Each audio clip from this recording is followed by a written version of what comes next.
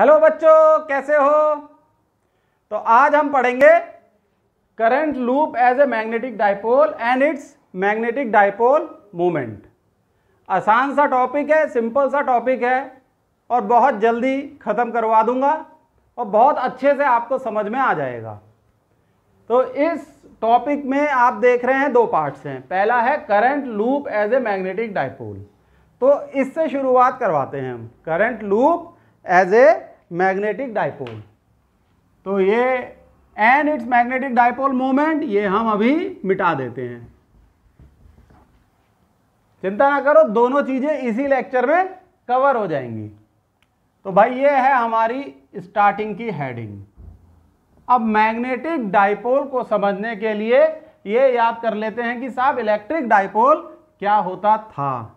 था इसलिए क्योंकि आप इसे पढ़ चुके हो। तो यहाँ कोने में लिख लेते हैं इलेक्ट्रिक डाइपोल। याद है बच्चों आपको? नहीं याद है तो देखो, इलेक्ट्रिक डाइपोल में दो चार्जेस होते थे।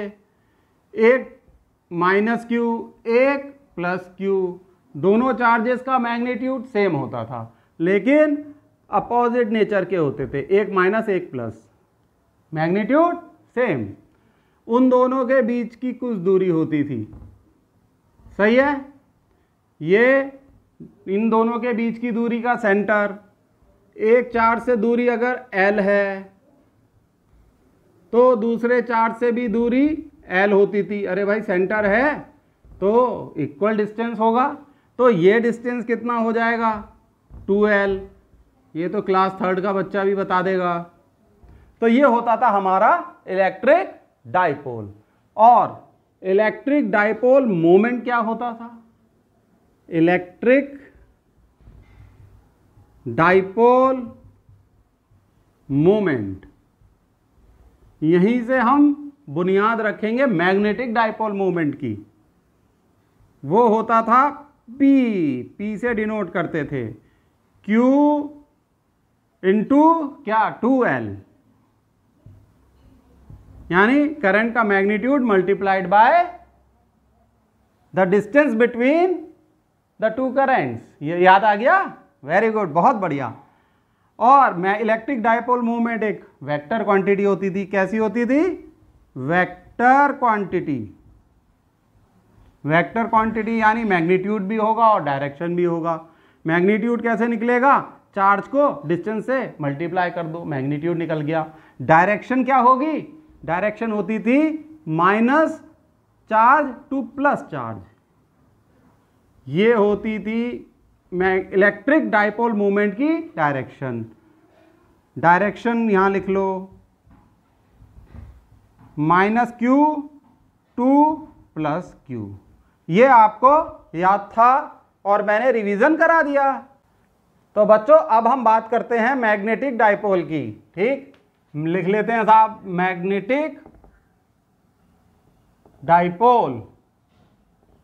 और इसके लिए हम बनाएँगे एक बार मैग्नेट। ये है आपकी बार मैग्नेट, ये इसका नॉर्थ पोल और ये साउथ पोल। ये हो गया मैग्नेट का सेंटर, ये डिस्टेंस है एल और ये भी डिस्टेंस है एल मीन्स नॉर्थ पोल से सेंटर की दूरी एल साउथ पोल से सेंटर की दूरी एल तो total length of the bar magnet क्या हो गया? टू एल ठीक है? ये क्या है? Bar magnet. तो ये बार मैग्नेट मैग्नेटिक डाइपोल बना रही है। जैसे कि दो चार्जेस इलेक्ट्रिक डाइपोल बना रहे हैं तो एक बार मैग्नेट मैग्नेटिक डाइपोल बना रही है, क्योंकि इसके एक तरफ़ नॉर्थ पोल होता है, दूसरी तरफ़ साउथ पोल। अब यहाँ हमने इलेक्ट्रिक डाइपोल मूवमेंट निकाला था, अब यहाँ निकालेंगे magnetic dipole movement magnetic dipole movement सही है बच्चों? अब इसे निकालेंगे हम.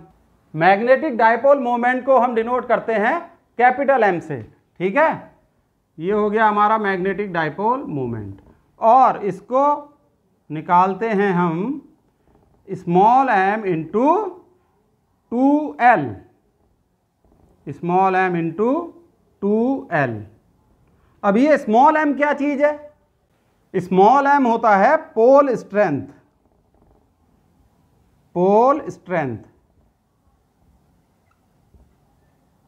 pole strength का अर्थ हुआ किसी भी मैग्नेट की, के पोल्स की कितनी ताकत होती है? कितने स्ट्रेंथ होती है? तो जितनी पोल्स की स्ट्रेंथ होती है, उतनी ही उस मैग्नेट की स्ट्रेंथ होती है। भाई, पोल स्ट्रेंथ ज़्यादा तो मैग्नेट में ज़्यादा ताकत। तो इसे हम मैग्नेटिक स्ट्रेंथ भी बोलते हैं। क्या बोलते हैं? Magnetic strength.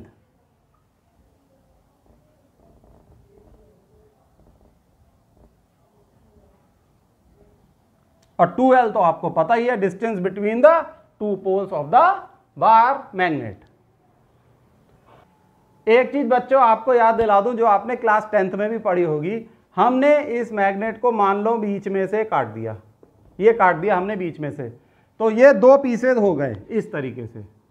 ये है एक पीस और ये है दूसरा पीस तो ये अगर नॉर्थ पोल है और ये साउथ पोल है तो ये दोनों पीसेज अपने आप में एक मैग्नेट की तरह बिहेव करेंगे। ये दो आधी मैग्नेट बन जाएँगी। यानी ये नॉर्थ है तो ये इसका साउथ हो जाएगा और ये नॉर्थ। ठीक है? बीच में से काटा, दो मैग्नेट बन गई। इन दोनों को बीच में से काटोगे, चार मैग्नेट बन जाएँगी। इस तरीके से है। यानी हर मैग्नेट का अपना नॉर्थ पोल होगा और साउथ पोल होगा। और जब हर मैग्नेट का अपना नॉर्थ और साउथ पोल होगा तो हर मैग्नेट का अपना मैग्नेटिक डाइपोल होगा। इसका अलग मैग्नेटिक डाइपोल, इसका अलग और हर मैग्नेट का अपना मैग्नेटिक डाइपोल मोमेंट भी होगा एम इंटू टू एल आ गई ये बात समझ में? अब जब आधा आधा काट दिया तो ये लेंथ रिड्यूस हो गई। ठीक, ये बात समझ में आ गई आपके? चलो, बहुत बढ़िया। तो अब बच्चों, हमारे सामने एक प्रश्न है। वो ये है कि ये करंट लूप मैग्नेटिक डाइपोल की तरह क्यों बिहेव करता है? भाई मैग्नेटिक डाइपोल तो बार मैग्नेट से बनता है, क्योंकि उसमें नॉर्थ पोल और साउथ पोल होते हैं। अब ये करंट लूप क्यों मैग्नेटिक डाइपोल की तरह बिहेव करेगा? इसका मतलब करंट लूप एक बार मैग्नेट में कन्वर्ट हो जाता है, ठीक? और जब वो बार मैग्नेट में कन्वर्ट होता है तो इसका मतलब उसमें एक नॉर्थ पोल भी होता है और उसके अपोजिट एक साउथ पोल होता है। अब ऐसा कैसे होता है? इस चीज़ को समझ लेते हैं। सही है? तो मेन टॉपिक पे आ गए current loop as a magnetic dipole moment इसे रब कर देते हैं। आपने नोट कर ही लिया होगा।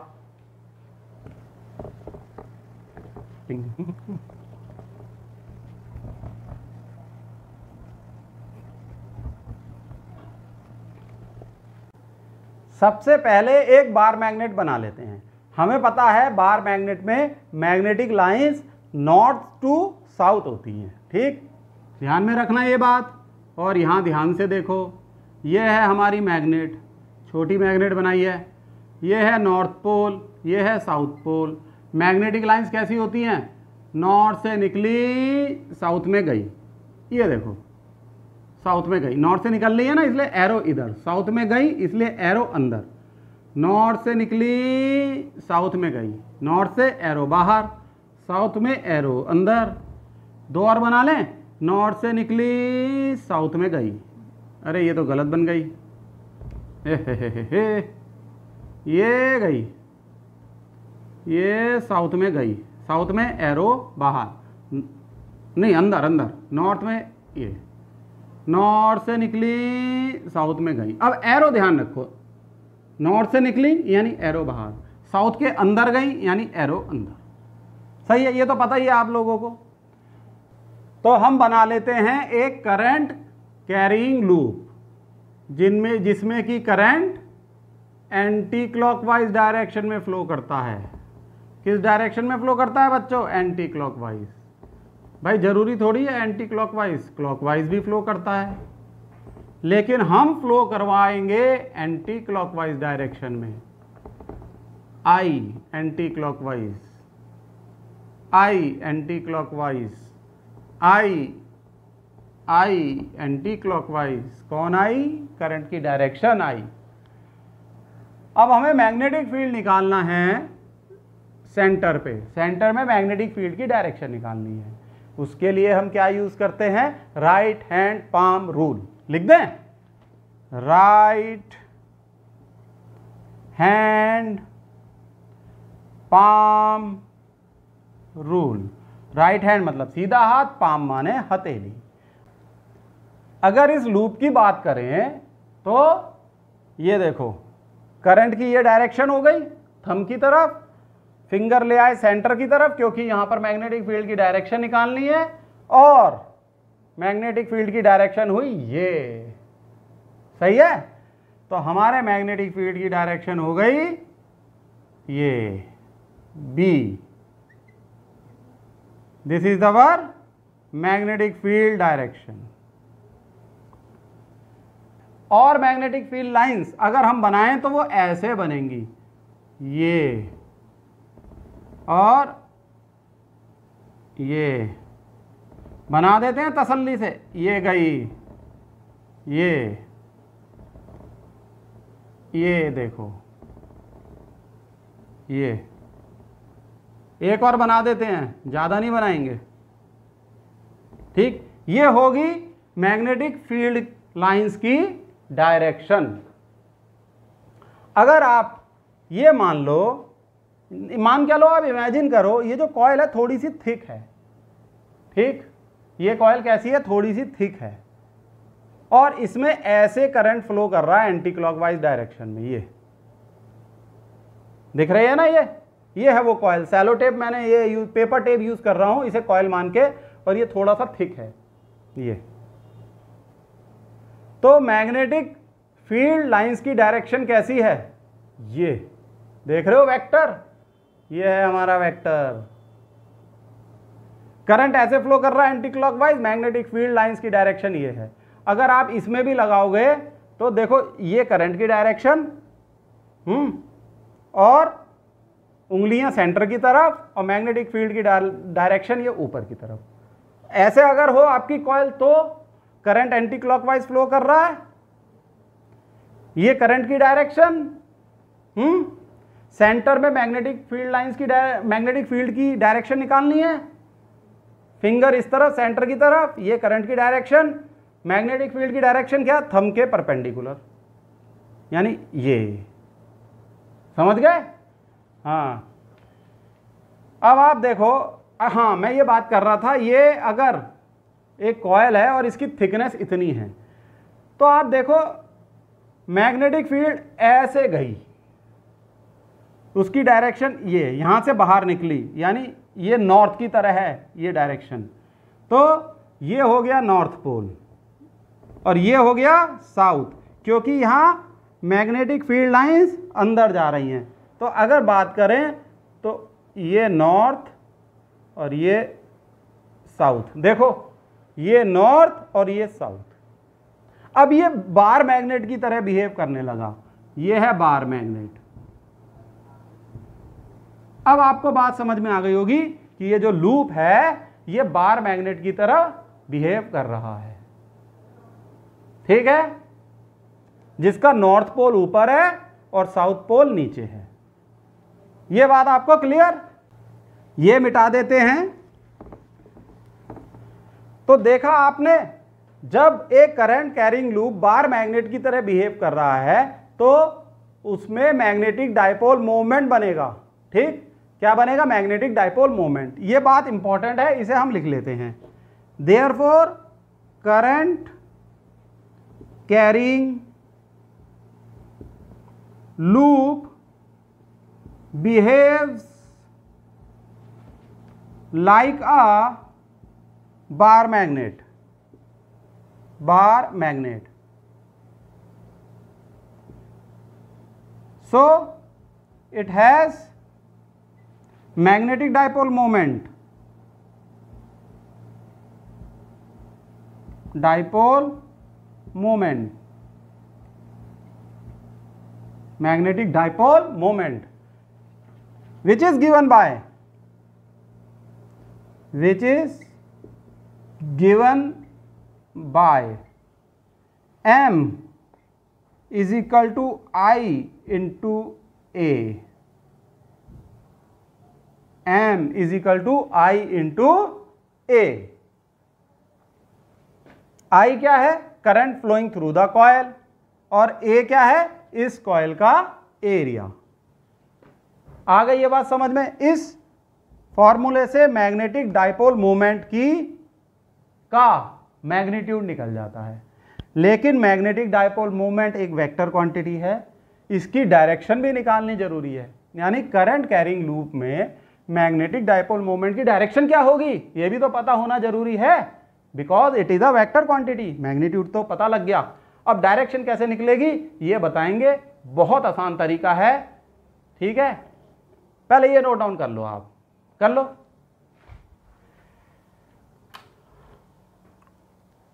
तो बच्चों, ये तो हम पढ़ ही रहे हैं करंट लूप ऐसे मैग्नेटिक डाइपोल ये हमें समझ में आ गया, हमने लिख दिया। अब इसी से हम आगे आ गए हैं मैग्नेटिक डाइपोल मोमेंट तो यहीं पर याद लिख दो। And it's magnetic dipole moment अब हमारा टॉपिक पूरा होगा। चलो भाई।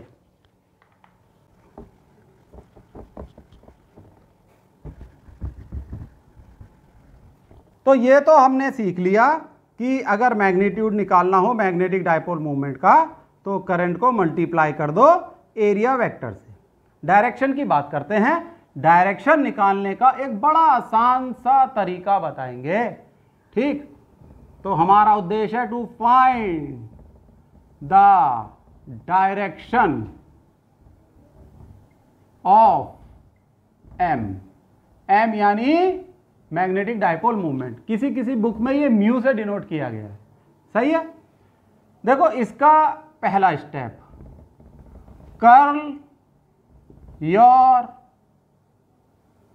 curl your finger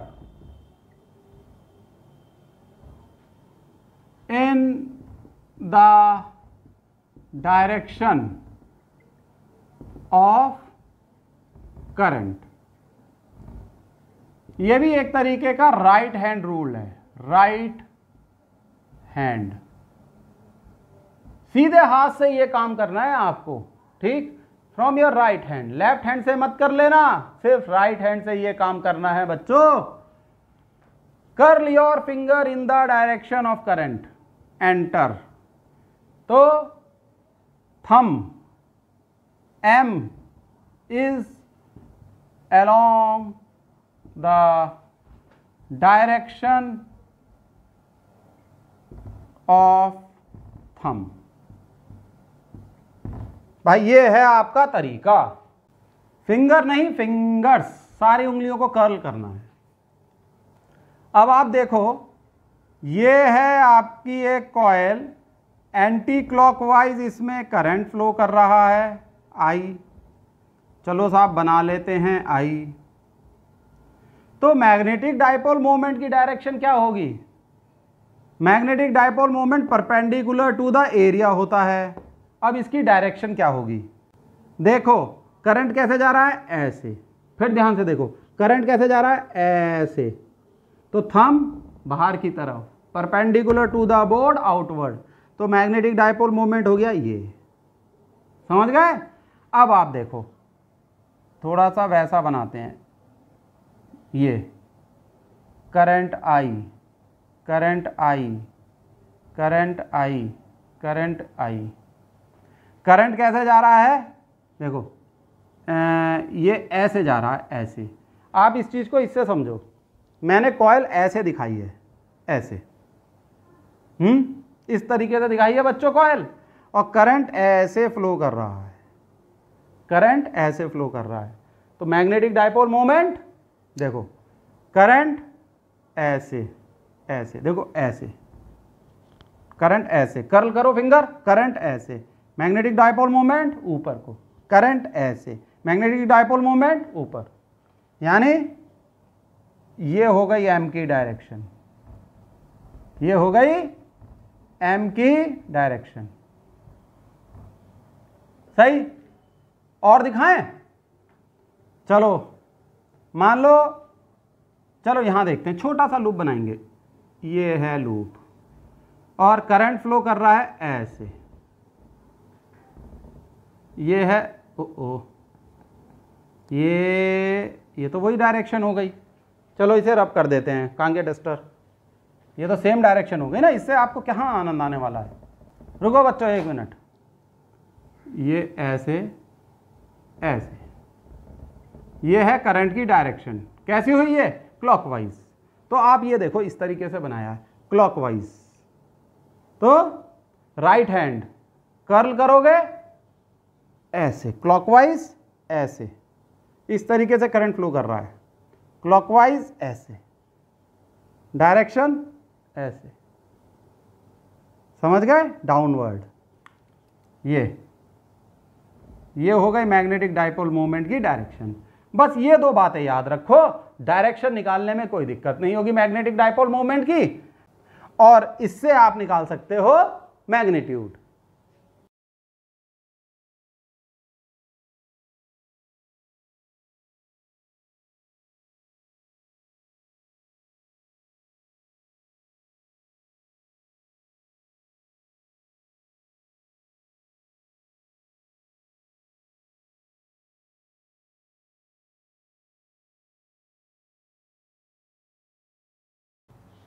तो बच्चों, ये एक न्यूमेरिकल लिख दिया है मैग्नेटिक डायपोल मूवमेंट पे।